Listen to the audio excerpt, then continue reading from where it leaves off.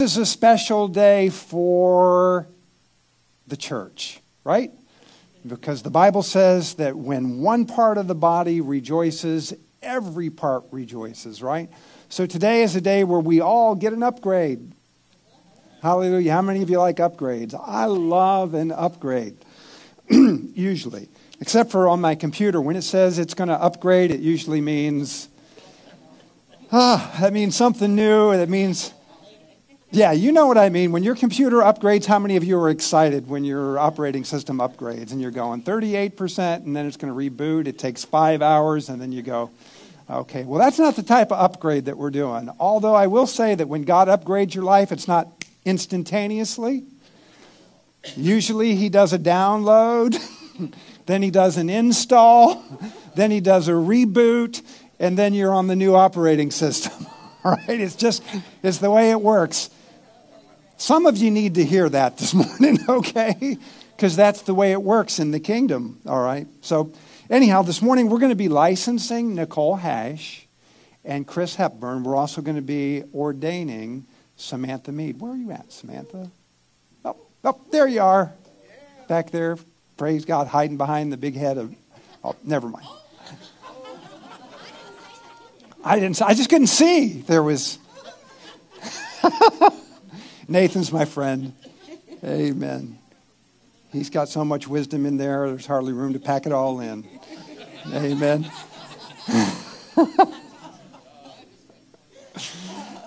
all right. Okay.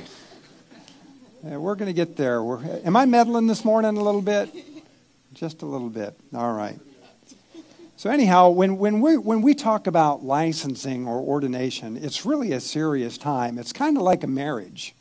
You know, we're coming before God and we're, we're making a declaration that I recognize that God has a call on my life and I am dedicating and I am surrendering myself to this walk from this point on. We're recognizing publicly, but I'm going to demonstrate the outgrowth of this call every day of my life, right? Okay. So know this that no man, you cannot call yourself into ministry. It's something that, that is of God. What we do as a church is we recognize those that God has called in the area of the church and in the area of the ministry. And if you don't work in the ministry and you work in another field, guess what? You have something that you do when you recognize that someone is gifted and someone is called in your particular line of work, right? You might not call it ordination, but it is a recognition of a gift, of a talent, of a skill and ability that someone has, and you recognize that publicly in your business, right? Well, in the church, we do that as well. But we call that licensing and ordination at the highest level, okay? And so it says in um, Acts chapter 13, this is kind of how it works, all right? This is the example, this is the pattern that we're following. While the disciples and the early church were praying and while they were ministering to the Lord and fasting, the Holy Spirit said, Set apart for me Barnabas and Saul for the work to which I have called them. And when they had fasted and prayed, they laid hands on them and they sent them away. So, being set apart for the work of God, that's what ordination is recognition of. It's a recognition that the Holy Spirit is saying, I am setting today, I'm setting Nicole apart. I am setting Chris apart. I am setting Samantha apart for the work which I have called them to. All right? And so um, today I want you to know that you have been set apart. That you have been set apart. It says in Psalms 139, uh, verse that I hope that all of you are familiar with, it says this I will give thanks to you, for I am fearfully and wonderfully made. Wonderful are your works and my soul knows it very well. My frame was not hidden from you when I was made in secret and skillfully wrought forth in the depths of the earth. Your eyes have seen my unformed substance, and in your book were all written the days that were ordained for me when as yet there was not one of them. Can I upgrade that just a little bit? before you were ever formed in your mother's womb, God had already written down in a book all of the days that were ordained for you, when yet not one of them had come to pass. So you see, each and every one of you has a call on your life. There are days that were ordained for you, and today is one of those days, all right? They've been written in a book, and can I tell you, when God writes a book, it's always a bestseller. Amen. So if God were going to do a movie on your life, I'll tell you what. I think that's what's going to happen in heaven. I'm just going to spend eternity sitting back with popcorn and ice cream and watching movies because of the, the story that God is unfolding in each and every one of your lives. It's so, so exciting to see. You know, the gifts and callings of God are without repentance. And what that means, God don't change his mind. He doesn't change his mind. He doesn't say, oops, I made a mistake because you made a mistake. What he says is, my grace is sufficient. My gifts and my calls are without repentance, all right? So we all have a stewardship. One day we will all stand before God and we will give an account of the days that were ordained for us. Amen. And so I try to live each and every day of my life conscious and aware of that day when I will stand before God and give an account of the days and the stewardship that He's given me. And I, I want to encourage you to live that way, all right? So that should make a difference in the way that we live, right? Chris was saying this when he got up here. Every service, we don't have a mold around here. God don't have a mold. He doesn't have a mold for what it looks like to be in ministry. He doesn't have a mold for what your life looks like. I mean, you are fearfully and wonderfully made, all right? Some of us are more fearfully made than others. Some of us are more wonderfully made than others. I am I have so got the spirit of meddling on me here this morning. But I mean, you know, God has there, there's a unique plan that He has for each and every one of our lives. And when God sets someone apart for a work, when He sets someone apart for a ministry, you can't look out and say, well, hey, this is the way the Pastor is. This is the way Anita is. This is the way Andrew is. This is the way Chris is. You can't look at that because you are fearfully and wonderfully made. In the Old Testament, when uh, they were building, Moses was building the tabernacle in the wilderness. I want you to look at a verse in Exodus chapter 31, okay? Because it says this it says, Now the Lord spoke to Moses, saying this I have called by name, okay, it's up there on the screen. I have called by name Bezalel. How many of you like that name? All right, Bezalel. I mean, I look at some of the names that we call our kids these days. I'm telling you right now, this is going to be a popular name. All right, some of you young folks are thinking about, well, what are we going to call Bezalel? Okay, this is a great name. Write it down. Okay. Son of Uri, the son of Hur of the tribe of Judah. Listen, I have called him, I have filled him with the Spirit of God in wisdom, in understanding, in knowledge, and in all kinds of craftsmanship to make artistic designs for the work of gold and silver and bronze, and the cutting of stones for settings and carving of wood, that he may work in all kinds of craftsmanship. How many of you know this man was set apart? He was ordained by God as one who was filled with wisdom, knowledge, and understanding in all sorts of craftsmanship. Man, this dude was good. He was good. If you looked at the work that he did, you'd say, man, it looks like the hand of God is on there, right? He was set apart by God.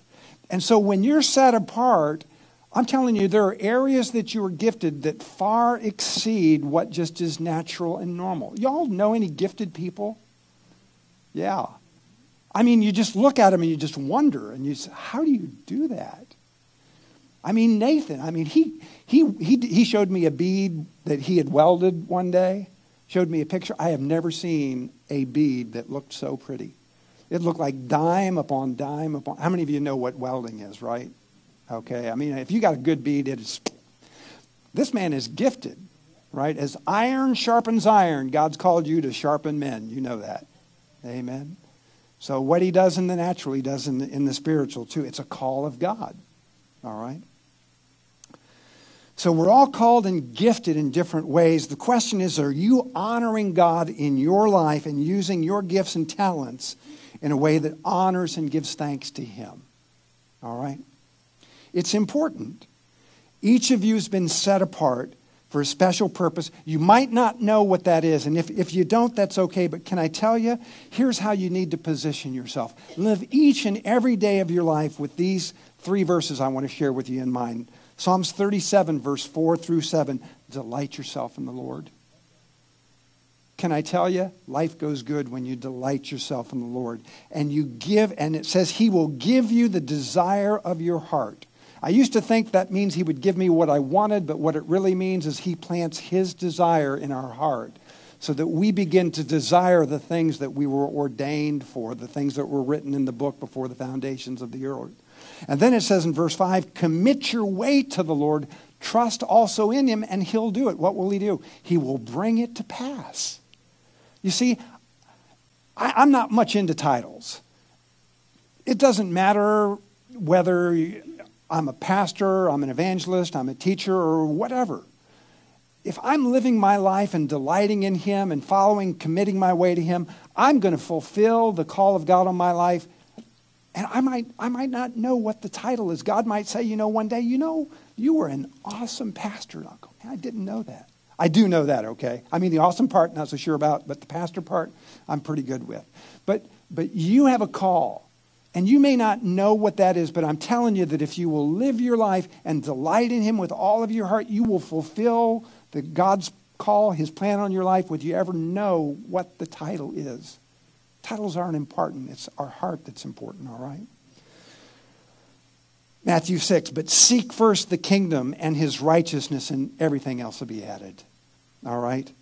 And whatever you do, whatever you say, do it as a representative of the Lord Jesus Christ, giving thanks through him to God our Father. If you can live by those three, you're good you're good. Your gift will make room for you. All right? So, but it does say in Ephesians chapter 6 that specifically when Christ ascended, he gave gifts to men, and he gave some as apostles, some as prophets, some as evangelists and pastors and teachers for the equipping of the saints for works of service, for the building up of the body of Christ. God wants to build his body up. He's the head, we're the body, right? And God wants the body to be built up. When you were born again, you became a spiritual baby, all right? And when God comes back, he's coming back for a mature bride who's made herself ready. Jesus is coming again, you know that. It's time to grow out of our huggies, all right?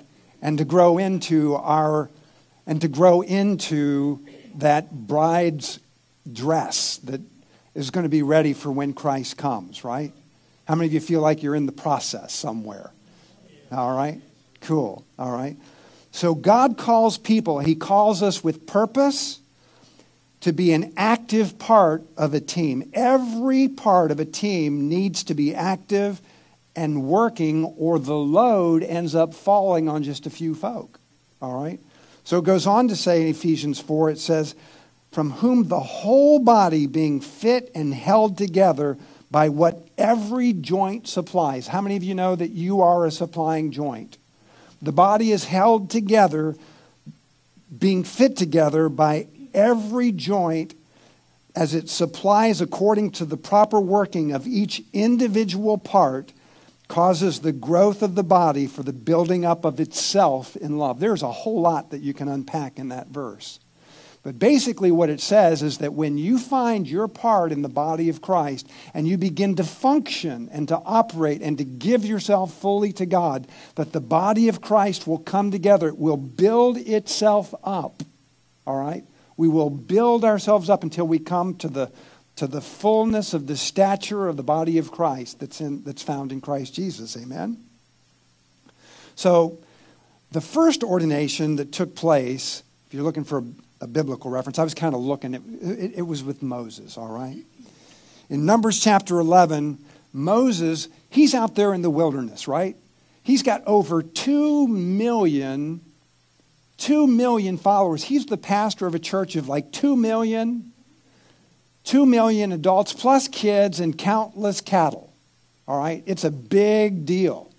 He's carrying the load. Moses said, I am alone. I alone am not able to carry the burden of this people because it is too burdensome for me. So if you are going to deal thus with me, please kill me at once. If I have found favor in your sight, and do not let me see my wretchedness.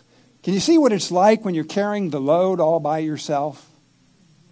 So the Lord said, therefore, to Moses, Gather for me 70 men from the elders of Israel, whom you know to be elders of the people and their officers, and bring them to the tent of meeting, and let them take their stand with you. Then I will come down, and I will speak with you there, and I will take of the Spirit who is upon you I used to, up, up until this morning, I was reading this as I will take of the Spirit that is upon you and I'll place it upon them. But that's not what it says. He says, I will take of the Spirit who is upon you and I will put him. I will put him upon them. Who's he talking about? He's talking about the Holy Spirit. He's not taking your personal anointing. The Holy Spirit is the one who gives the gift. Okay? So the gift operates in and through the Holy Spirit. And so when we ordain, or here in the case of Moses, God is taking upon the gift of the Holy Spirit that rested upon Moses, and he's imparting that same Holy Spirit to 70 individuals that he's calling to help carry the load, right? So he says, I will take the Spirit who is upon you and I will put him upon them, and they shall bear the burden of the people with you, so that you will not bear it alone. Man, isn't it good to know that we don't have to do work alone? It's good, it's, it's good to be a part of a team, right? Okay? So, as ministers, you become a part of the team that helps to carry on the work of the ministry here at the River Church. All right? So, whether you're licensed or ordained, today I'm speaking specifically to Nicole and to Chris and to Samantha, that God is anointing you to help carry on the work of the ministry here at the River Church. All right? So, when I lay hands upon you and the presbytery lay hands upon you this morning, God is going to stir up the gift that is on the inside of you. And He is going to take of the Holy Spirit that is upon me, and He's going to place it upon you so that we can carry on the work of the ministry that God has called us to here at the River Church. Because if God doesn't do that, kill me now. Not really. I'm so thankful for the team of individuals that God has brought to be a part of the ministry here that the ministry continues to get stronger each and every day as God adds to the ministry. So today is a day of celebration for each and every one of us. All right? So it's a serious surrender of our lives. It's a public recognition of God's hand setting you apart for his service. The licensing and ordination comes with a stewardship and with an accountability that you will live with for the rest of your lives. Real quick, I want to uh, just make a distinction. What's the difference because people always ask me this all the time.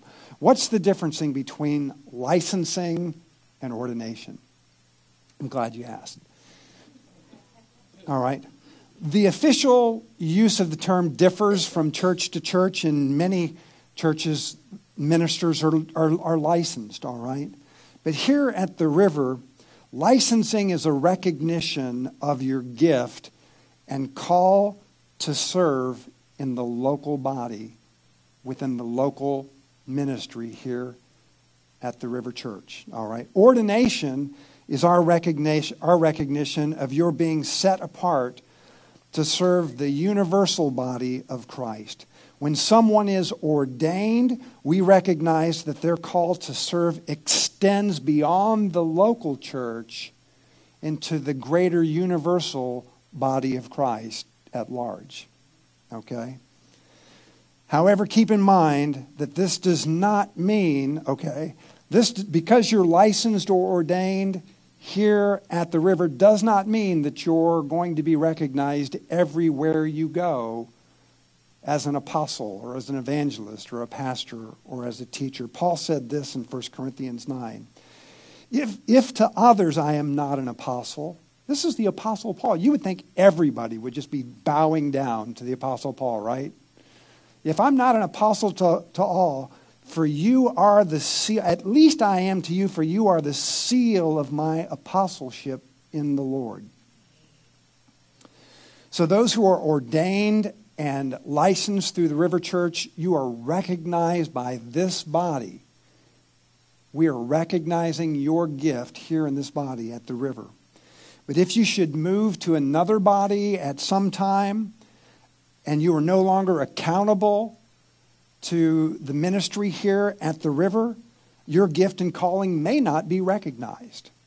Okay? It's a gift by God, and I trust it to be recognized wherever you will go. All right? But you may need to be licensed or ordained through whatever church or ministry you're operating in at that time. Our gifts, we don't go someplace and just say, I'm ordained, right? I've had people come in and tell me that they were ordained. And I don't know what they were ordained for. I don't know what internet website they went to and downloaded their certificate, but I could tell by the fruit of their life that they weren't ordained. When you're ordained by God, there's fruit. Amen. There's fruit. Laying empty hands on empty heads provides absolutely nothing. All right? But when you're filled with the Holy Spirit and you pour your, you lay your hands on a vessel that is anointed and called God imparts, and He stirs something up, and it's real, and you'll see the fruit of it. Amen? All righty. So today we're going to set apart three very special people for the work that God has called them to. All right? And this is where I'm going to lose my chair and make room. All right. I love technology, don't you? I got like three different operating systems I'm on this morning. So at this time, I want to ask Nicole Hash to come forward. I'd also uh, like to ask our prophetic presbytery to come forward. And if, if you'll stand over here to my left, uh, and we're Pastor Anita Cruz and Andrea Wynn, uh, also Pastor Rudy and Dorothy Davis, and uh, Crystal Hepburn, who is licensed minister in the house. I'd have my wife join us, but you know what? When you're in the ministry, you're called to serve, right? She's serving in the nursery this morning. Amen. But that's what we're called to do. Amen. So, yeah. Okay. Well, okay, we'll give just a second. How many of you are excited about what God's doing? Amen. Again, this isn't something that you do every day, and this isn't something that we do lightly. This is, is, is what we do over a period of time when the Spirit of God begins to speak and you know that His hand is on someone's life. Amen. We're going to license Chris Hepburn in a few minutes as well. And I can tell you this that I was standing in a conference just a week ago at an Andrew Wommack conference, and I was worshiping, and in the, in the middle of that, the Lord spoke to me and said, I want you to license Chris Hepburn. Am I thinking about that?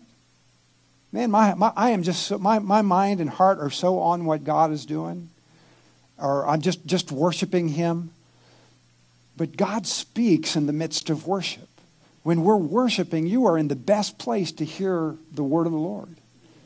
And I'm saying, Well, Lord, I mean, we've got this service coming up in just a week. And the Lord said, Well, why do you think I'm telling you now? oh, okay, that'll work. Thank you. And we'll, we'll get to that. But that, I mean, God is the one who sets apart.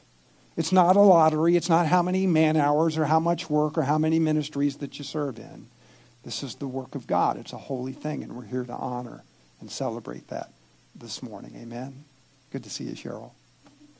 Hallelujah. Nicole, how you doing? You're okay? Cool. Well, you're about ready to not be okay. Is that okay? I'm just messing with you.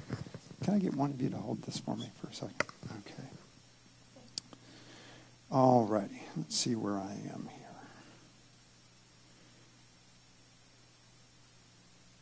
All right. All right. Hallelujah. Praise God. I'm so excited for Nicole. I've been waiting on this. God has been working in Nicole's life for such a, a long time. Do you know Nicole um, grew up in this church? Nicole was a part of our child care center, right? Did you grow up in the child care center? Some? So however, however that goes. I've been there longest. She, she's been there more than anybody, all right? It must have been a great experience because she came back and she's worked at the child care center and she's been with us. And Nicole is in the process right now of moving into a new position as our operations director of the child care center. Amen. Let's give her a hand. Amen. Amen. She'll be serving under Crystal Hepburn, who is a licensed minister in our body and is our executive director of our child care center. Crystal is in the process of transitioning as well into a ministry here at the church in an administrative and other areas. And it's, there's just promotion that's happening all the way around, all right? But our child care center is very important because our child care center is a ministry. It's a ministry, all right? Our child care center will always be a ministry. And it's a ministry to our children, to our staff, to our community. We represent the heart of God.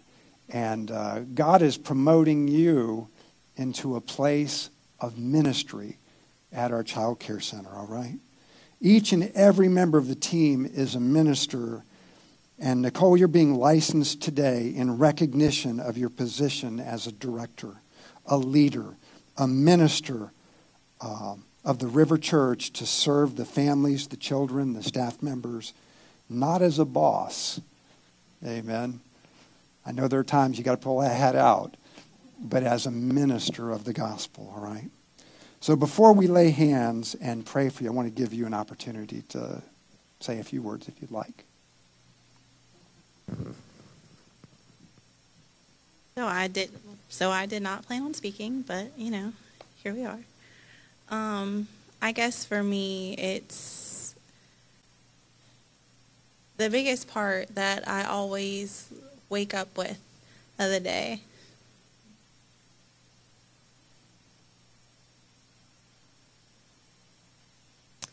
Is that my family has blessed me with a childhood.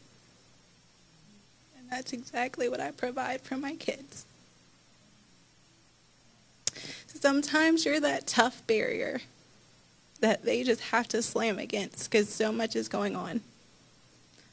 And sometimes you're the fun fall festival planner who, in other people's words, do too much.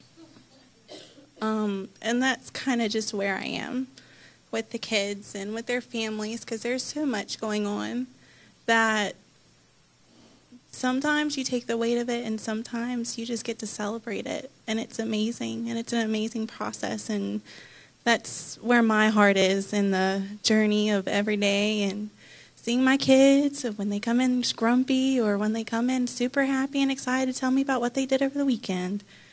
Um, it's just a blessing. And just knowing that i provided a sense of appreciation and a sense of morality to them as they grow up is one of the biggest contributions I could ever do. Amen. Amen. God's going to so honor that. He's going to so add to that.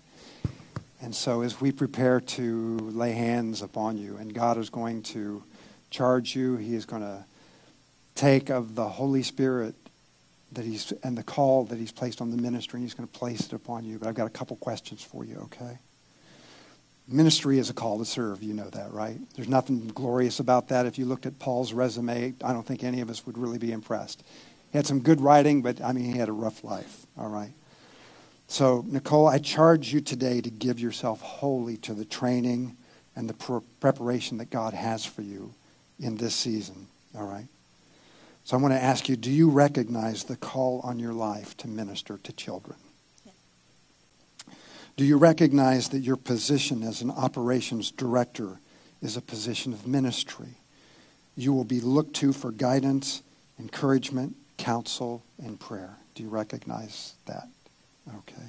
Will you devote yourself to prayer, to continuing to make it a priority to grow spiritually on a personal level, to study the Word, to show yourself approved, a workman that needs not to be ashamed, rightly dividing the Word of truth?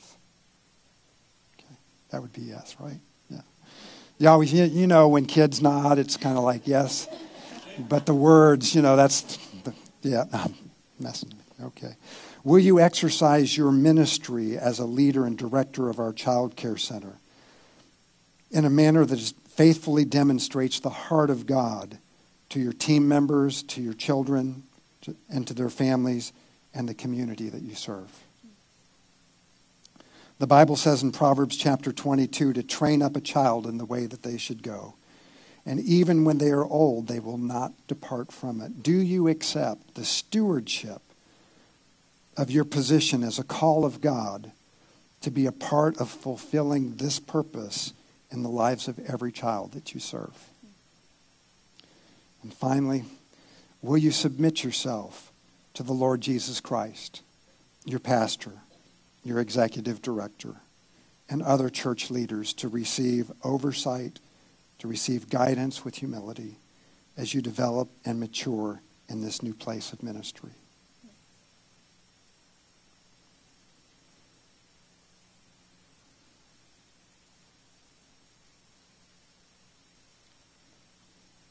So I'm going to ask the presbytery to come around at this point. And we're going to pray. And I'd like to ask those of you who are here, you're not just here to observe, all right? You're here to, to pray and to give your acknowledgement to what God is doing. So I'd like to ask you if you would extend your hands this way and just begin to pray. Amen. So as we pray, the anointing of God is going to be released into your life. God is going to give you a spirit of wisdom and knowledge and understanding. A leadership mantle will rest on your life. There will be a new level of authority and accountability.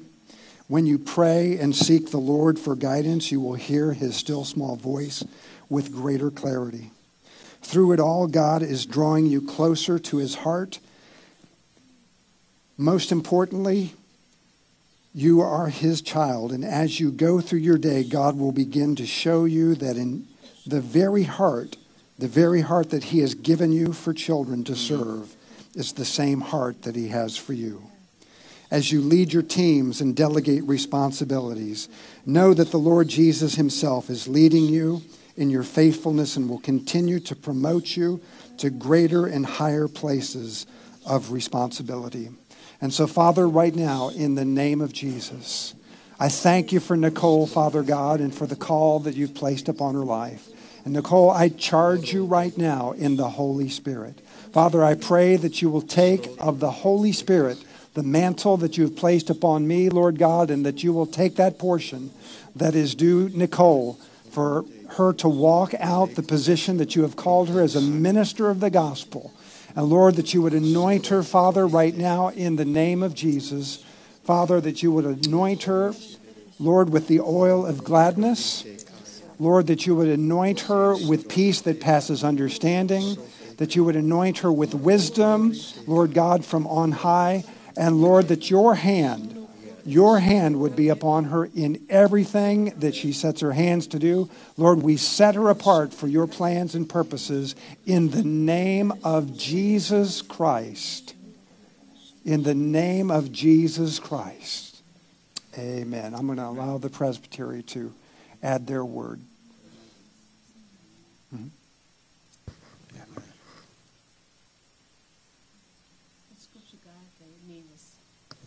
The scripture that God gave me when I just walked up to see you is pure. and it's nothing but the pure in heart shall see God. And I just charge you to keep your heart pure, and that will keep away the distractions and the just the lack of understanding. It will just keep the adversary running a, a, a, a vision to you that's far from what God has. So nothing but the pure in heart shall see God. So keep that heart pure, and you will have the wisdom that you need as you go forth. Amen. To do exceedingly and abundantly above all that you can ask and think according to the power that worketh within you. So there's an anointing in you. There's some power within you. But I also, what I was just thinking about coming up here, I'm coming from the human relationship department of the kingdom of God.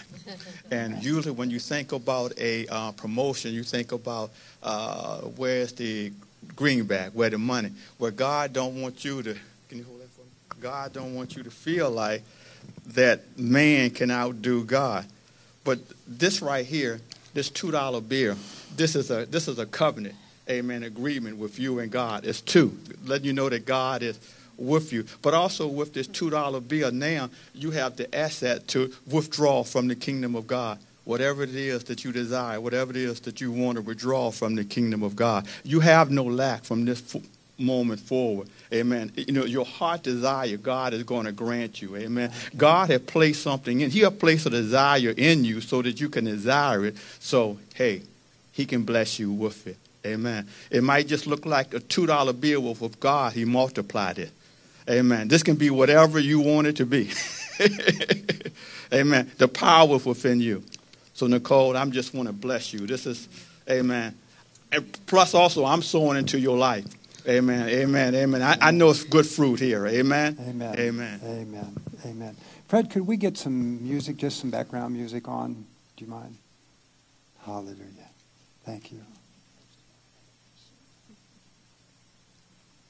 been a privilege knowing you and being in your life and being here for this today, but I wrote mine down, okay?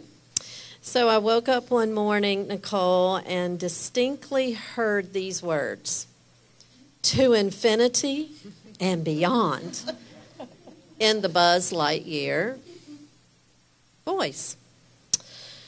Nicole, God wants you to know, first of all, that he sees you, that He always has seen you, that He trusts you to go to infinity and beyond. He trusts you to go to places you don't even right now trust yourself to go.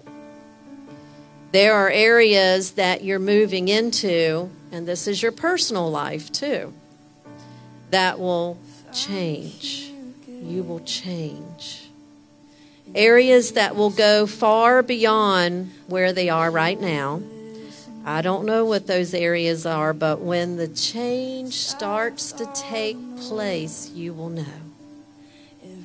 I also heard full circle. Things are coming about in your life full circle. There's a completion somewhere.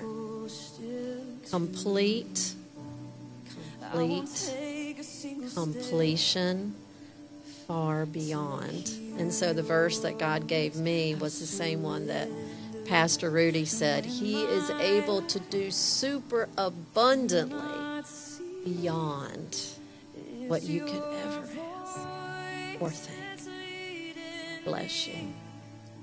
Jesus.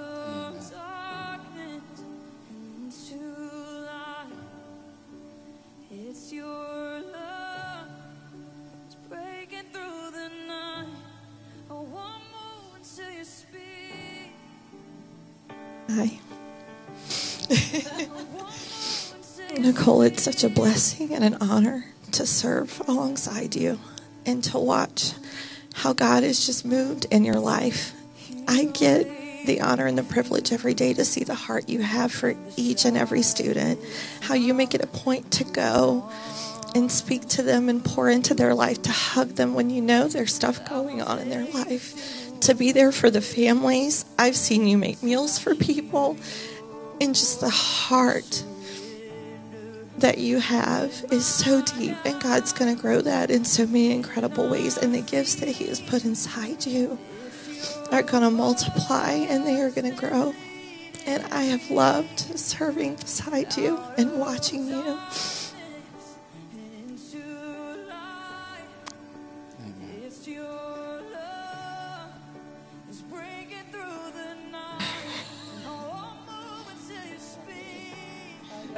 We're all going to go up here. When I was walking up here, I heard the Lord say over you, Many nations will come from you. So it's not just a matter of bearing fruit, but many nations of fruit will come from you. And there was a period of time when I was praying over you before maybe Connor got here, and I'm going to continue praying that because out of you, many nations will be birthed and will come forth. And as I was seeking God for you, I heard the scripture Mark 10, 13 through 16. And it says, People were bringing little children to Jesus for him to place his hands on them. But the disciples rebuked them. And when Jesus saw this, he was indignant. He said to them, Let the little children come to me, and do not hinder them. For the kingdom of God belongs to such as these. Truly, I tell you, anyone who will not receive the kingdom of God like a little child will never enter it. And he took the children in his arms, placed his hands on them, and blessed them. And you have been called to take his children and to lead them to him and to bless them and to speak forth life into them. So, Nicole, even as I was praying and this verse came up in my heart, I hear the words child advocate. God has blessed you with eyes to see each child for who he created them to be and who what he has for them and what he's going to anoint. He is going to anoint your mouth to speak into their hearts what he sees and what he declares over them. You are planted in the word, and the word is deep within your heart, and you're going to plant that word deep within their hearts. It's going to be planted, its soil, its ground. Your presence will be empowered. Uh, the presence of the Holy Spirit is going to be empowered even in a greater level. The Holy Spirit is going to come upon you in a greater level. You won't even have to say a word, but just your presence in a room will speak for itself. It's going to bring healing, it's going to bring peace and restoration. There's something to be said about a nurturing presence. Just like you believed and trusted and have faith in God that He would answer you when you sought Him with your whole heart, He has shown you He's a miracle working God. And you are going to empower those around you with that same heart, that same mindset. Jeremiah 29 13 through 14. You will seek me and find me when you search for me with all your heart. I will be found by you, declares the Lord, and I will restore you from captivity and gather you from all the nations and places to which I have banished you, declares the Lord. I will restore you to the place from which I sent you into exile. I heard the Lord say He's empowering you to forge a new path you are going to experience the wonder working power of the Lord in new ways.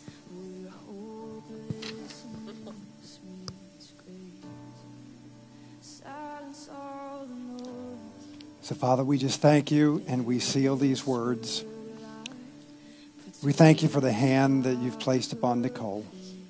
And Father, we set her apart right now for the ministry that you've called her to. Lord, we thank you. This is just the beginning. There are many, many, many more days to come.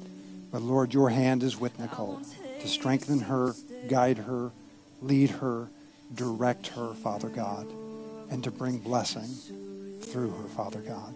In Jesus' name, amen. Amen. Let's give Nicole a hand this morning. Amen. Amen. I want to give you. I want to present you this certificate in remembrance of today. So thank you very much. God bless you. I'm going to ask Chris Hepburn to come forward right now.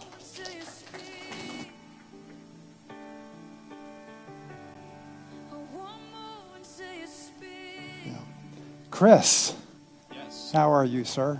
Great. Great. I am so excited for what God's doing in your life.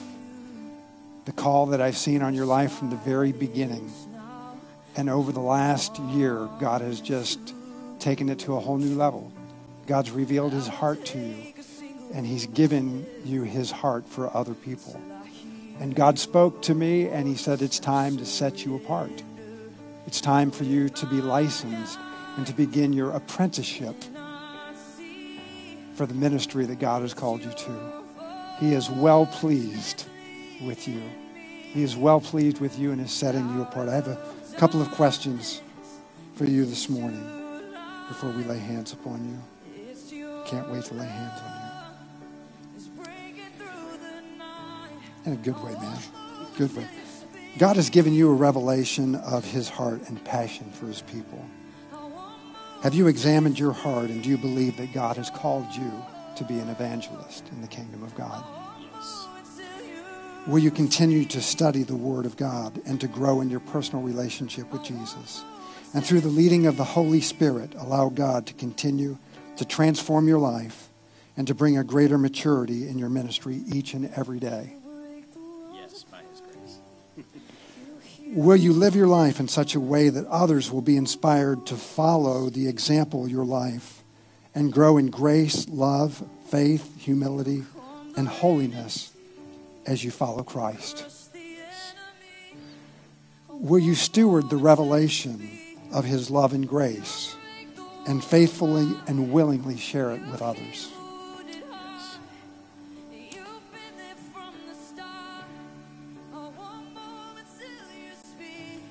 Well, I charge you today, Chris, to give yourself wholly to the training and the preparation that God has in store for you in this next season. To, to study to show yourself approved, to let the Word of God become flesh in your life, to give yourself wholly to God, your pastor, and other ministers who will make rich deposits in your life during this next season. I'm here to do all that I can. The Holy Spirit will equip you in every way for the work that He has called you to. Psalms 37 23 The steps of a man are established by the Lord, and He delights in them. And so, Father, right now, in the name of Jesus, Lord, we set Chris apart for the ministry that you have called him to.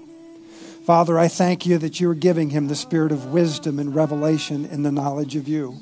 That your Holy Spirit, who has brought him to this place, will from this time forward come forth in greater measure and show him and lead him and guide him and teach him, Father God, through the trials and tribulations and triumphs of this life.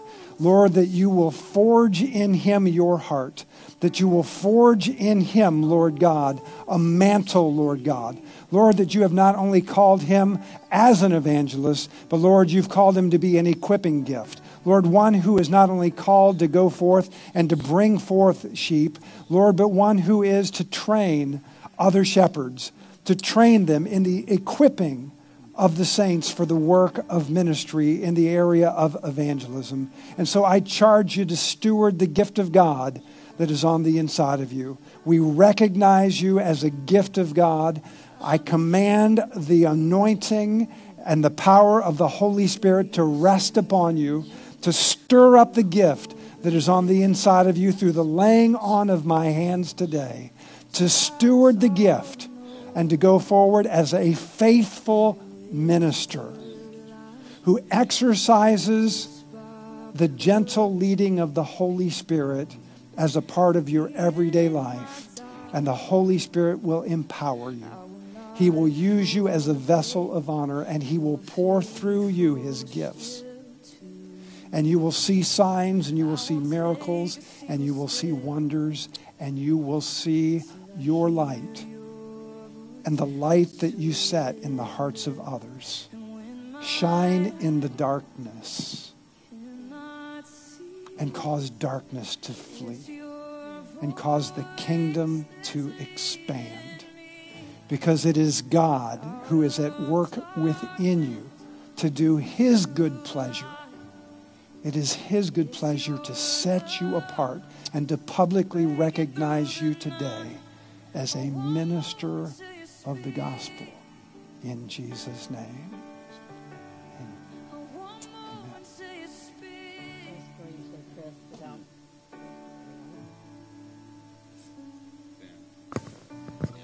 Just briefly, okay.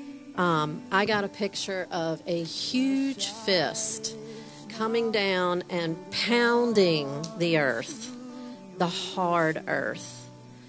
And when I got that picture, it made all of the dirt around the area shatter um, until it turned into a powdery state, a formable state. And Chris, God wants you to know that you are an agent of change. And this was a fist of strength, but gentleness, because that's who you are.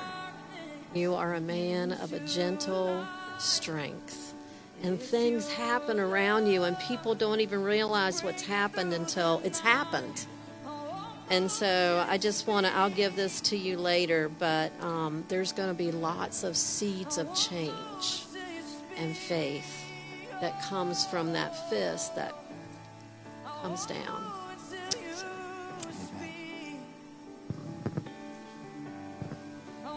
Chris, sing a little song.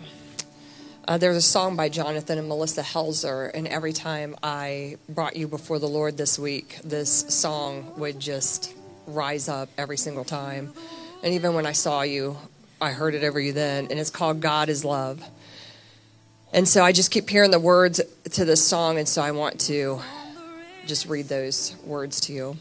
It says, I will dance on the chains of my circumstance, walk on the waves of the storm. Nothing is impossible for those who believe. God is love. And another verse says, I will live out the dreams you have placed in me, shout down the walls of fear. I can scale a wall, I can move a mountain, I can slay a giant when you're by my side. I can raise the dead. I can free the nations. I can fly. It's time to fly. It's time to do the impossible.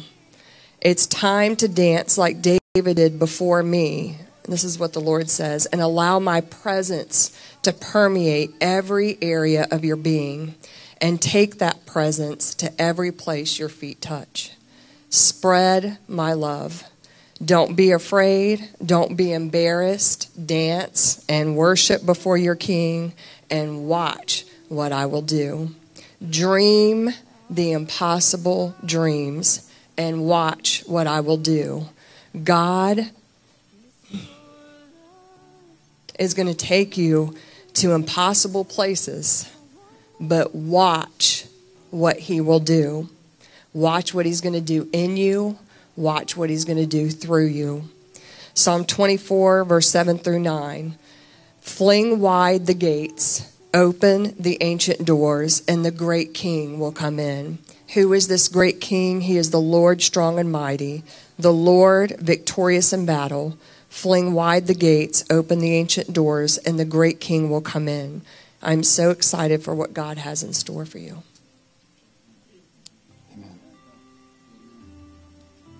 Chris, I saw in Luke when John baptized Jesus, and when Jesus came out of the waters, he had a dove came down from heaven, and then God spoke, This is my son, whom I'm well pleased. I hear God saying that to you. You are my son, and I'm well pleased with you. And then Peter, talking um, to Cornelius' household, he told them how Jesus was anointed, amen, with power and the Holy Spirit, and he went about doing good healing all that was oppressed of the devil. And I see that with you, Chris. Amen. God hand is upon you. I also see you a man after God's own heart. Amen. And when I saw that with David, David didn't get everything right, but David had a heart towards God. Keep that heart towards God. And also I want to do someone laid hands on me one time and said, everything that my hands should touch shall prosper. So I'm just transferring that anointing unto you. Amen. Everything that your hand going to touch, amen. Amen. You're going to prosper. But also with you also, God, I have to seal this contract. Here come the $2 Amen. With you also, amen. Amen. Yeah, yeah, yeah. I got to seal this. I got to seal. I got to seal this contract with you and God. Amen. All right. All right. Praise God. Amen. Blessed you with a, a lot of charges and a lot of words today. But what I heard when I uh, from God when I when you first came up was steadfast. You know, steadfast.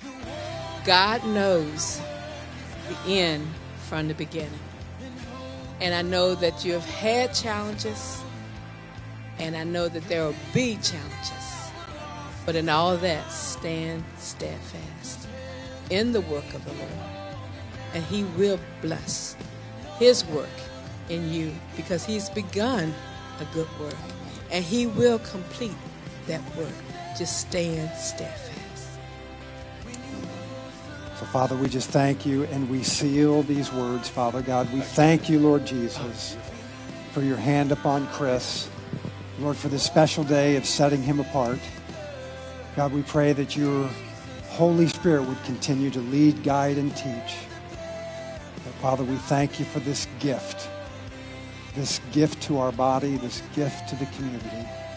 And we set him apart today for the work to which you have called him to. In Jesus' name. Amen. Amen. To present this to you.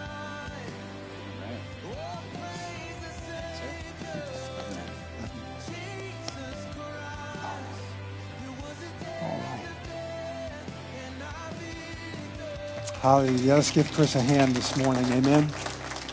This really is a special time. And uh, again, this is the third time that we've had a service like this. But right now is something that I've really been looking forward to. Is we're going to ordain Samantha Mead. And so I'm going to ask Samantha to come forward. Oh, there you are. I was I was looking.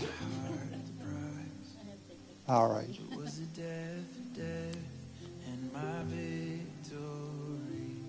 Hallelujah. Why don't you Come on up here. I've had the privilege of working with Samantha and knowing Samantha for, well, for eight full years, but Samantha's been here long before I ever put a step down here. And Samantha has served in so many areas in the church. She's served in almost every ministry that exists. She's been the director of our child care center. She, I don't know, I made a, I made a list. She's a part of our senior leadership team. She's our youth pastor and oversees our student and children ministry. She's a part of our paid staff, although she serves full time and more because that's what ministers do. Samantha served under my leadership. She served and studied at uh, Charis Bible College, has graduated from the School of Supernatural Children's Ministry. And Samantha has a very strong prophetic mantle upon her life. And I just can't wait to see what God's going to do next. I really am looking forward to that. And so before we lay hands upon you, I have a couple of questions. Couple of questions. A charge. It says that it was he who gave some to be apostles and prophets and evangelists and pastors and teachers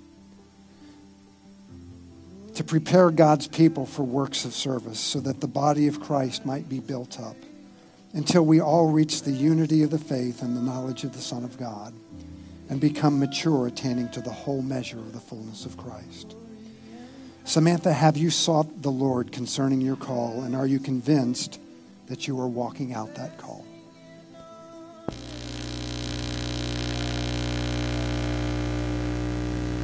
Are you determined to make that calling and election sure by laying down your life for it and not forsaking it? Are you open to the Lord expanding and growing that call in your life? Are you willing to lay down your life in service to others, even as Jesus set the example doing so for you? Will you love others even as you have been loved by God and care for them as a true minister of the gospel, working as unto the great shepherd, Jesus Christ?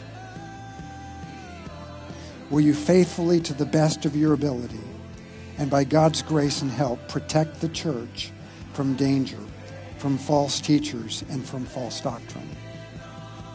Will you commit your life to seeing the individuals under your care come into the fullness of who God has called them to be through healing, through teaching, through training, encouragement, and support? Fully releasing them into that destiny to the best of your ability by God's grace and with His help.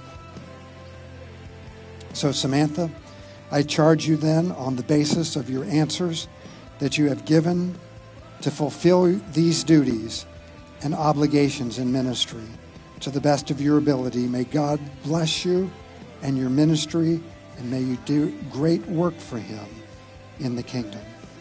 Amen.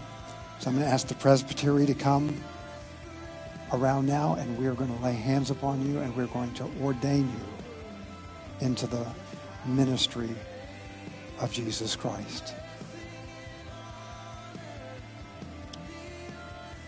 So, Father, this is a holy moment. This is a holy moment. It wasn't but four years and one week ago that we stood in this same place and licensed Samantha into the ministry. In these four years and four weeks, you have given yourself to the hand of the Holy Spirit. You have followed his call. You have laid down your life. You have demonstrated the fruit of ministry.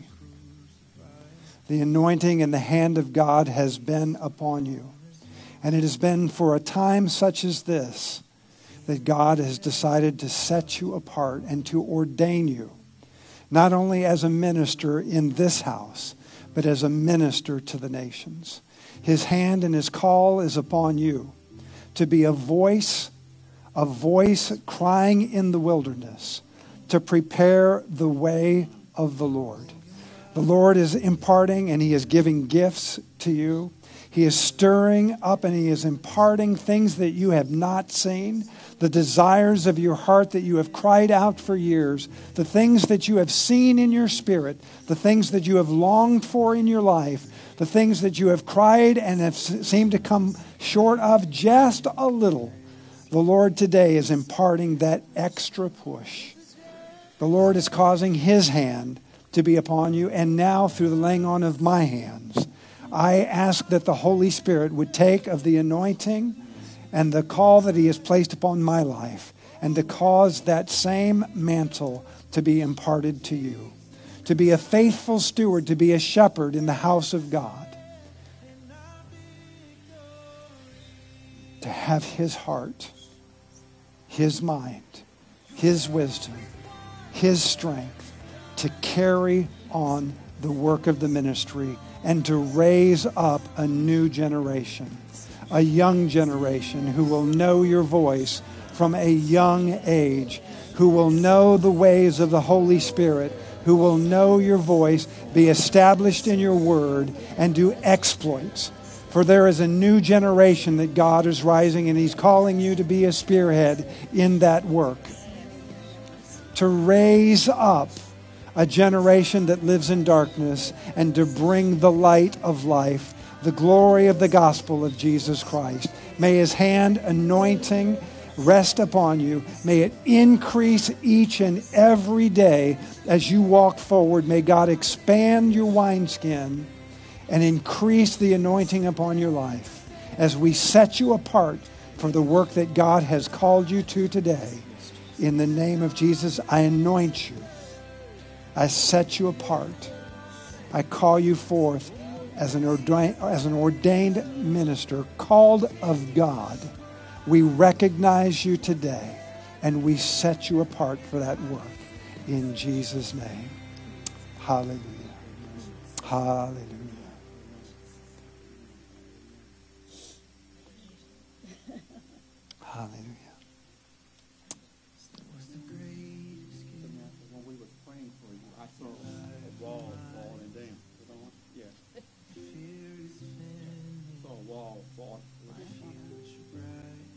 I saw a wall falling down, and I was standing there. I said, "Okay, what do this mean?" But then God showed me the picture of Joshua and the children of Israel going around the wall of Jericho, and and he, we got to do this demonstration. Y'all just bear with me. Come come here with me, Manson. Y'all come on up here. Come on up here. Come on up here. Yeah, yeah. You with Mr. Manson. But Joshua and the children of Israel, we're not going to do this the whole time, but they had to walk around that wall. Oh, oh. they had to walk around that wall. And on the seventh day, what time day they walked around that wall, we walk in. The seventh day, when they walked around it, they let out a shout. Let's let out a shout. Hallelujah! Hallelujah! Glory to God and that wall came tumbling down. Victory was there. I see that in your life. Whatever walls that are hindering you and Timothy, the walls are coming down Amen. in Jesus' name. Amen. Victory is y'all. You and I see you and Timmy. I see you and Timmy just going off in the twilight, just rejoicing, praising God, just giving God some glory, giving God some honor. Amen. And you don't have anybody else, do you? I'm, I'm afraid this will be it for today. Well, you double. I'm double now, right? Double. Yeah, you double. You double. Double. Double. But again, this is this this is sealing. Awesome. This is sealing the yeah. agreement. You and God. Yeah. Amen. Amen. Amen. Amen. And the, and the reason that you have two is because you're going to give the other one to someone else one day. Amen. Well, here goes. Samantha. God's word says in Psalm 139, 17 and 18, How precious towards me are your thoughts, O God, how vast is their sum. If I were to count them, they would outnumber the grains of sand. When I awake, I am still with you. The Lord says, I have thought extensively about this day in your life. Every detail for you on this day has been planned and purposed by me the Lord your God. My thoughts, my purpose for you, my aim for your for you, um, those thoughts outnumber the grains of sand. I love how you pursue me at all cost, at any cost. How you press in and grab my thoughts, my intentions, my aim for you and for those around you, and activate my word. You inspect and walk around the details and every single grain of sand, and you bring the unseen into the scene. I also hear the Lord say in this next season of your journey, you will see even deeper into his heart. The Lord says, Come away with me to places no eye has seen or ear has heard. I have fine tuned your giftings fine tuned your calling. My presence will be with you wherever you go. It will be your life's greatest adventure. The best is yet to come. I am showing you my word does not return void and it does not return empty. There is promises and plans that I've spoken and arranged in heaven over you, that I've arranged over my people, that I have arranged over this body at the river pick up those words, pick up those promises, and hold them up before me in worship and watch me breathe life into them once again. Remember, not by might or your power, but by my spirit, says the Lord. Write down the way. Many will be able to follow the path after you. Write down the way write down the route taken.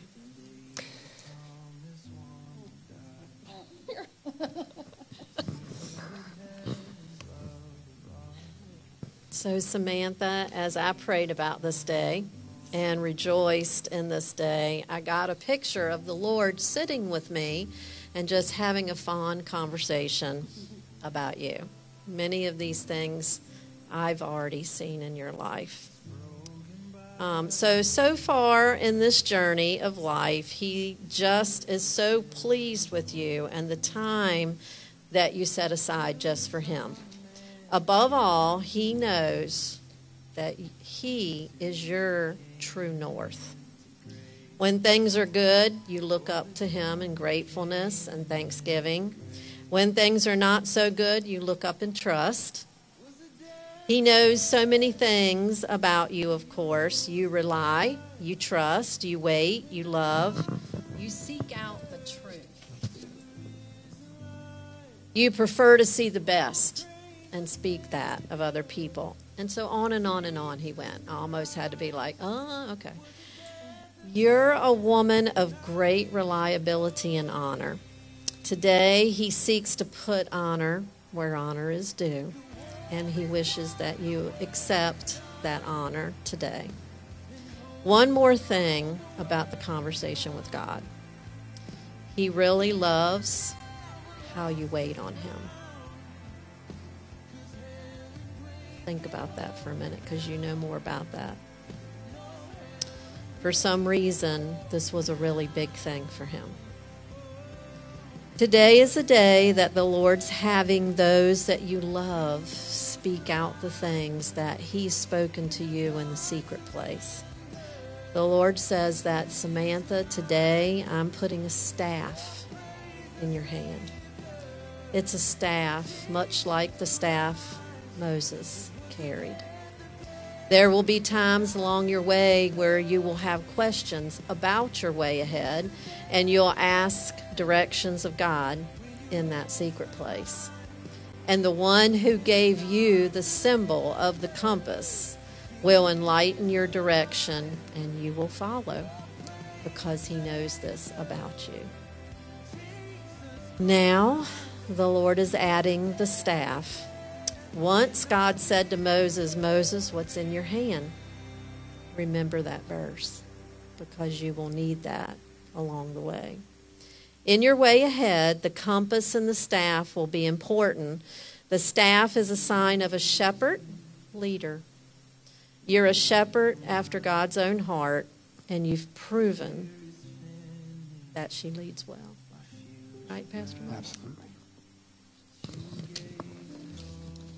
One of the times I prayed, I saw you as a compass that helped to point others in the right direction. People from all over, not just here, are going to come with questions, things in their lives, and your true north will give you discernment to point these individuals in the right way. Sometimes the staff will be needed more. Your discernment and your time with God will let you know what to do. Always heed the voice of God and do what He says, no matter how strange it may sound to you. Isaiah 30 Your ears will hear a word behind you saying, This is the way. Walk in it. When you turn to the right hand and when you turn to the left. So, my dear friend, walk on with your staff and your compass in your hand. He has so much more for you in the road ahead.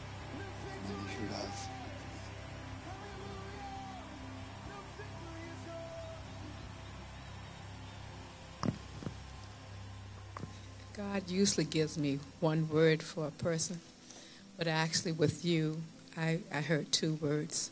The first word was grace. You know, that His grace is sufficient. You know, just, just kind of take that and marinate on it. Okay? Because that's what has brought you to this time and place in your life through so much. And the second word that God gave me was rest. You know, um, I believe when Andrea was quoting that that this, you just walk by the Spirit, because there's a rest that God wants you to walk in, and that rest is just allowing Him to do His work in and through you, and you just rest in that, because He's He really is saying it's good. He everything I, I kept seeing the seventh day when he said well the sixth day when he said it's good and the seventh day he rested. So you know just it's a season for you. I know the charge has been to keep on moving keep on moving but it's not going to be in your strength it's a time of rest it just enter into his rest because he will do the work through you. God bless you. And well, I can get everybody to stand, to stand. Father, in the name of Jesus, I just thank you, Lord, for the work that you have done, for the anointing, Father God, and the call and the blessing that you've placed upon this house. I thank you for every word, Lord God, that has been spoken over Andrea, or uh, over Samantha and um, Nicole and Chris. God, your word is true. It's forever settled in heaven. Lord, all the days that were ordained, Lord God, will take place even as you have written. And Father, we just seal your word, your work, your way for this day. And we declare, Father God, it's finished. It's sealed. It is accomplished. In Jesus' name. Amen. I'd like to welcome Reverend Samantha Mead. I probably won't get to say that again, but to give honor to whom honor is due. Amen. Hallelujah. Let's give her a hand. Hallelujah. Amen. I do, and I want to do this. I want to thank you for being here today. Thank you for your patience, for your prayers. You will see the fruit of what's taken place here today for years to come. And so we have a gift for each one of our licensed ministers and ordained ministers, which we'll present to them. But as we close, I want to pray for you because I started this service off by saying that you are ordained. And so I want to pray that God will stir up the gift that's in you because one of these days, some of you are going to stand here in this same spot. And so I pray that God has spoken to your heart and perhaps inspired you. And so, Father, in the name of Jesus, I just ask right now that your hand would be upon every individual who is in this room right now. Lord, you have called and you have ordained each and every one of them. And Lord, I declare that today is a day of promotion for everyone. Lord, that as a ministry, Lord, we have been lifted up. As a church, we have been lifted up. As individuals, we have been lifted up. And Father, I pray that every individual who is here in this room today, Father God, will receive the anointing of the Holy Spirit on their lives to take the next step, Lord, that you have commanded them in their journey. Lord, that you will equip them, that it will not be by might nor by power, but by the work of your Holy Spirit over each and every one. And Father, I declare right now in the name of Jesus that it is done. Father, that we have taken a step forward, that we have moved out of the old and into the new. And Lord, there's great rejoicing that will be in the house because the glory of the latter house will far exceed that of the former. And Father, we just thank you. We give you praise, glory, and honor in Jesus' name. Amen. I want to invite Chris to come forward, and Nicole to come forward, and uh, I'm going to officially close the service. But if you would like to come forward and to congratulate these individuals, please come forward and do so. We have a, a, a special meal uh, at 1 o'clock. I don't know if everybody RSVP'd on that or over at, over at Caesars down the road just at 1 o'clock if you'd like to join us. But that concludes our service today. Thanks for coming out. Please come forward and, uh, and just greet and give your congratulations to these individuals this morning. Amen? Can I say something? Yes.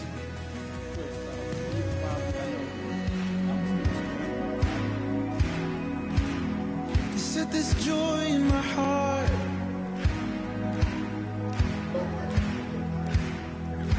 I'm not a slave to sin, so I'm singing.